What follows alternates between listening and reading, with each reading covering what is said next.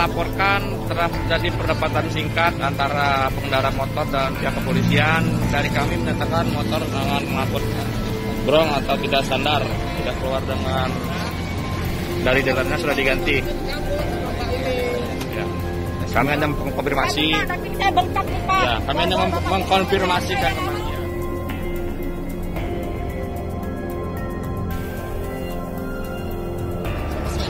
ini Nah, ini bapak ini bilang "Nah, ini gara-gara ini kan begini.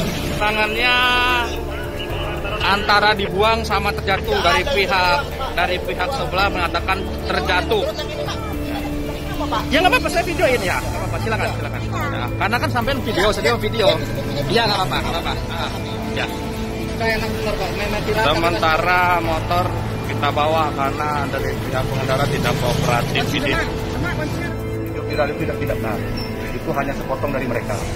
Sebenarnya anggota saya waktu itu Pak Tony sedang patroli menemukan kendaraan Brong Ninja eh, Kawasaki Brong diikutin dan kendaraan tersebut masuk ke dealer masuk ke dealer Kawasaki langsung di stop oleh anggota saya langsung karena ini knalpotnya Brong langsung di stop dijelaskan kesalahannya dan ditilang.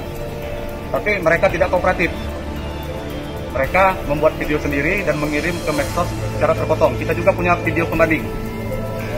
Jadi dengan kejadian ini kami Satlantas Bandar Lampung